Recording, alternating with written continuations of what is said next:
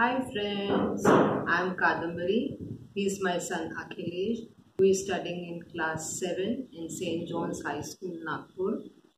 And in his school, there are various competitions being held where he always participates in it and win prizes. So one day I had talked about kids fashion glitz.